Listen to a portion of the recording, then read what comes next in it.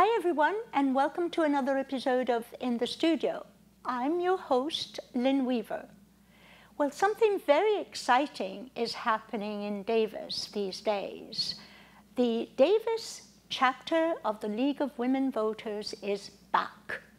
After five years of declining membership, which prompted its uh, disband, a number of very concerned and dedicated citizens of Davis decided to bring it back.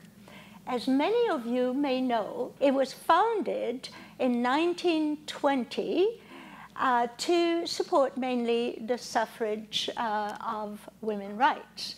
And the interesting fact is that this uh, 1920, uh, the founding of this league was uh, just six months before the 19th Amendment to the United States Constitution gave women the right to vote. Now, in 1973, the charter of the National uh, League of Women Voters was modified to include men. And uh, one of the things that is very important to be said is that officially the National League of Women Voters is a non-partisan organization, and which means that it neither supports nor opposes any candidate or any party in this country. Well, I have here today uh, three wonderful guests. uh, I have Mary Jo Bryan, the new Davis League acting president or director, president. Um, Bob Fung, the acting vice president of the league, and Georgina Valencia, the acting secretary. Welcome all, and thank, thank you. you. for being thank here. You. Now, I'm going to start with a couple of questions. The obvious one is, and Mary Jo, if you could answer that, what is the principal goal of this revival, and why do you think it's very necessary to have a Davis chapter of the League? Well, thank you very much for, for doing this because yeah. I think that um, all, all of us feel the importance and what we've discovered is that there's a great feeling of importance throughout this community to restore this, uh, the League of Women Voters back to Davis. Yes. And uh, just to give a little bit of uh, a further history too, the league had been started back in 1959 as the sort of the beginning of the onslaught of the city of Davis and what mm -hmm. it was mm-hmm. becoming in a university town, and was very active in planning and, and uh, voter education, all kinds of things, very strong and very strong, and was like that for many years. So when, when, 200, when 2014 came along, we had, the leadership had really, had, they could not find new leadership to take it over, and so they did disband on that. But sometimes in having a hiatus like that, people see the importance of something and bring it back on a different level. Absolutely And. I think this yes. is what we're doing. Last year when I was running for city council, I realized how difficult it was to get information out to the general public. Mm -hmm. With declining readership of papers mm -hmm. um, and other you know, restricted sources, and CivEnergy did a great job of trying to, to do that, but name recognition wasn't there. Yes. The League of Women Voters has a great name recognition for voter service, nonpartisanship, study, research, taking positions on various issues that they have decided to take a position on. And with all that in mind, when I started talking to people, um, I can't believe the, the cadre of people that I have working with me is incredible. Yes. So I'm willing to take this on, and I'm so thrilled that, that we are doing this and that um, we're doing it with Men Are In. Yes. And we have, and um, it's, yes. it's a wonderful organization. I've belonged to, to it since 1960. Yes, I was Nine, also so a 1969. member. 69. yeah. I was also a member for many years mm -hmm. back in Massachusetts, mm -hmm. and uh, I always valued the uh, the incredible um, service that they do, and and their presence mm -hmm. is mm-hmm. essential uh, not to mention in this uh, particular um, climate, political climate now with the uh, new election coming uh, Yeah, we next have, year. We have very strong positions on a variety of issues on both the national, the state, and the local issues. So when you become a member of the league, you become a member of all three. Yes. And you can play a vital part in regards to that on your local level, on your state level, and with the national league. Well, it's very good to know. And uh, uh, Georgina reminded me a little while ago that uh, they still you you don't you will soon have a website because you net you are still in the process of being registered. Isn't that right? That's, that's absolutely right, Lin. Yes. We um, actually had our first meeting on May 29th, which is not that long ago. No. and our second meeting on June 25th. And I'm happy to say both meetings, they were organizational meetings. And that's how you start this process. They have 15 steps that, you know, you, you um, take off the, the website from the California State League. And we've made it to step seven, and that's where you put a package together of your governing documents and applications that have come in and um, you know create those documents and send it into the league itself the, the state league which we did that on july 10th and they'll be reviewing it um, before the board on august 3rd and we hope at our august 7th meeting to announce that uh, we get the Official. rec- yeah exactly Exactly. Well, that's wonderful. But in the meantime, you can go to another website, and I Right. come to Bob, Right. uh, who is the founder of Civic CivEnergy. Right. And and uh, can you, Bob, can you explain a little bit um, how your uh, organization integrates uh, or fits in with the uh, League of Women Voters? Sure, Davis? sure. And of course, you are the vice president. so- Right. Yes. So, um, uh, I founded it uh, in about 2014, and there was an election, a city council election, and I worked with the league before they disbanded in order to take the forum, the city council forum that they did, and to put it on the internet so that people didn't have to be at the forum. They could, um, they could watch bits of the forum uh, the- Remotely. Oh, Um, that's wonderful. and that was my plan all along to work with the League of Women Voters, that, that the league would uh, do in-person forums and the Civenergy would uh, do the online discussions, uh, continued discussions before and after the forum. And your technical background certainly is very handy. Yeah. Uh, for uh, the league and Right. for everybody, actually. Yes, it's So- true. Yeah. So after the league disbanded, uh, Civenergy not only did the, um, the online discussions, but we have been putting on forums. We put on a forum uh, when Mary Jo was running for city council in 2018. Um, and it was a very successful forum. We had over, around 300 people at Yeah. the Davis Community Church there.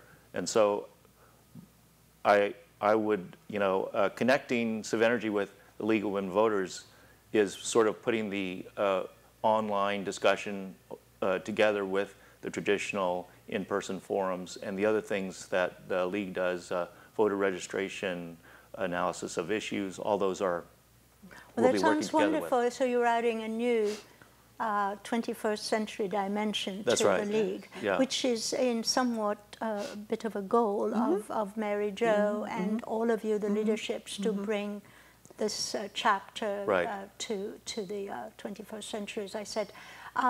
Well, um, the, uh, the um, website of CivEnergy is very, very easy and it will display on our screen. Uh-huh. It's www.civenergy.org. right. Yes. That's right. And, uh, and you can be reached, I, I, I imagine, uh, Yes. at, at your website Yes. for any questions. Right. Uh, and then, of course, you will probably announce when the uh, league uh, website will come into being. That's right, Yes. yes.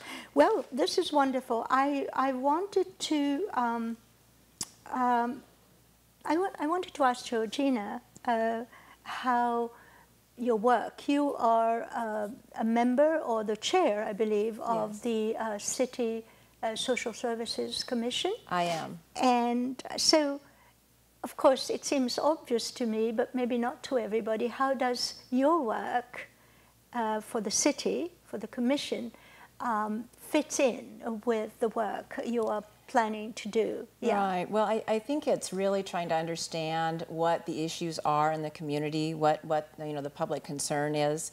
Um, for instance, um, there was a survey done recently um, that the city uh, asked a consultant to do, and one of the top issues of that was um, housing affordability.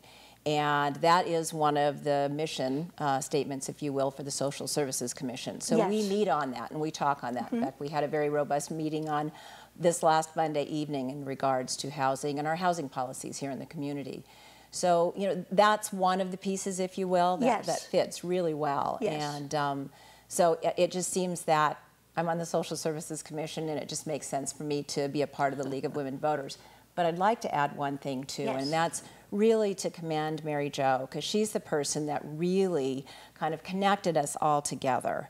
And honestly, if I hadn't run into her on the street and she looked me right in the eye and said, You know, I want to start the League of Women Voters. And I said, I can't believe there isn't one in Davis, you know, because it's such a Davis thing. It's a Davis ethos to really be involved.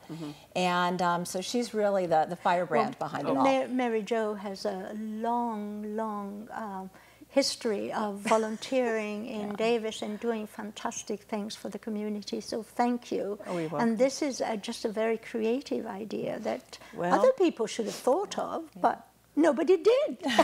Democracy is a part of participatory uh, sport.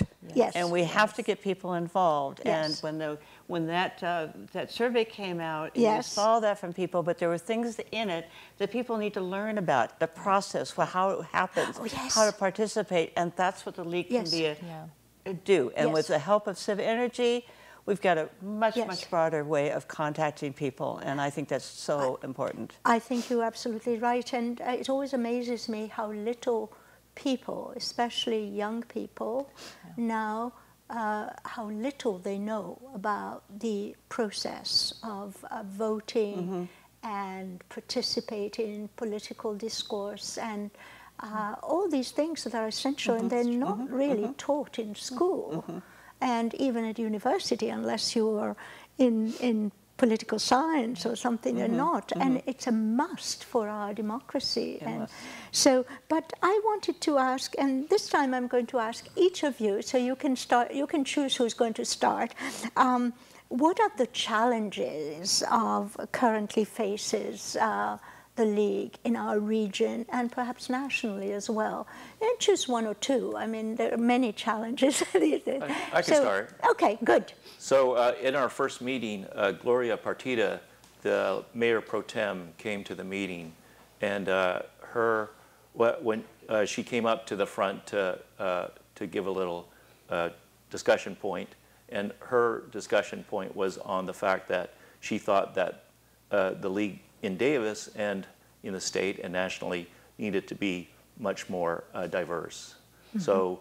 Uh, uh, if you look at the, um, uh, you know, the population, there, we, we, the, the league needs more men, and it needs more younger people. Yes. Needs more people of color, and we encourage uh, uh, everybody to come to our meetings and to participate. yes well who's next Yeah, I think the, there's some uh, goals that I would say are not maybe um, at a higher level, but for us, because we're at such early stages, our, one of our biggest goals is really membership. Yes. And, and diversity is obviously very important, but we also need to get members. And our outreach for those members. Um, we're doing it in various ways. I mean, this is a great format, and we really Yes. appreciate Yeah. your Yes. interviewing us today because I believe that helps us too. But we've you know been working with the Davis Enterprise, Davis Vanguard, um, any way that we can to let the community know that um, we're here and we're coming back and we need their support. So It's essential, and uh, I was going to ask you that in my next question. Yes, I uh, also I'm planning to have you back in a few months, so we can Yeah, uh, yeah. mark the progress, you know. And uh, outreach is so difficult uh, because everybody's saturated with things.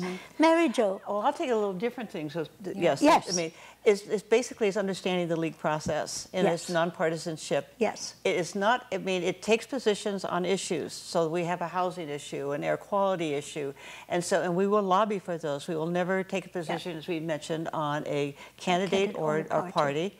Um, and that's very important. But in that process, you have to do some research and study. Yes. And sometimes where we are, um, uh, people feel that we are too slow to act. But I can tell you, I have been in the league since, like I said, 1969, 1970, and I went reviewed the, our local positions from that were put together back in 1995 and updated, and they are relevant today, oh. very, very much so. They need to be tweaked. They need to be active. They maybe needed to be rounded out into, but yeah. they are they're on right on course. And I just think it's important that you have the background of knowledge and research behind you before mm -hmm. you go forward, yes. because I think we've all learned how complicated situations are funding, yes. all these kinds of things. Um, yes. So that's well, and of course you have to prioritize. But mm -hmm. I'm so happy you mentioned that uh, you know the issues mm -hmm. and not the people. Mm -hmm. Especially nowadays, it's all about personalities and people,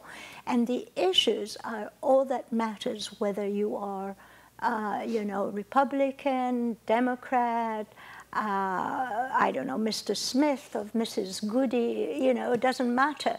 And I think that young people need to understand that mm -hmm, in this in this culture of mm -hmm, memes and uh, you know icons.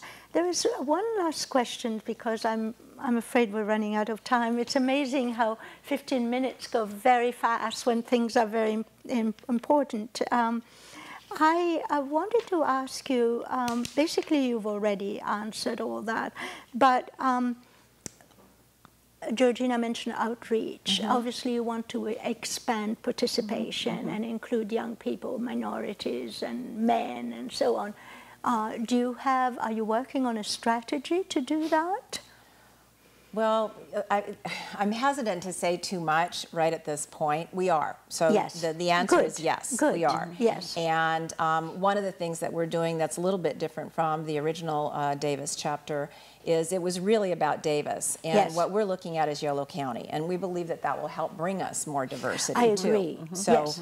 That's yes. one of our strategies. Yes. Um, but there's others. I'll just, we'll wait next yes, time you have absolutely. I'm glad that you're thinking of uh -huh. this. And I noticed that there is a Woodland chapter. There, there is a Woodland chapter. And I was wondering whether you could, uh, you know, combine your strengths in some. Uh, We've yeah. actually talked about yeah. that and met with them and gone to yeah. their annual meeting. Good. And they're very Good. receptive. Good. And perhaps there's one in Sacramento. Who knows? Yes. Though there is. But yes. I'm there is, yes. There's, but not West Sacramento and not Dixon. I mean, not Winters. Yes. And not Esparto and not, you know. Right. So there's definitely places that could use the outreach and the what, the, what yeah. we do. Yeah. And, and, and sort of uh, mm -hmm. help one another. Mm -hmm. Yeah. I'm afraid our time is up. It's terrible. So thank you so much. Uh, my heartfelt thank you and appreciation for what you do for the community. Bob Fung, the vice president of the Davis chapter of the Women, uh, the League of Women Voters. Thank you, Lin. Georgina, the uh, secretary of uh, the acting secretary, yes. no longer acting in a few weeks, I'm sure, oh, of you. the league, and Mary Jo, the acting president. president. Thank you so much. And again, go to CivEnergy website to find out more about what Bob and his organization do. And for thank you all of you for watching. Um, if you enjoyed this episode, you can always uh, watch it again by streaming it at dctv.davismedia.org. And while you're there, you can look at some of the other shows that we have. We have incredible guests and very interesting topics. So once again, thank you for watching and see you next time.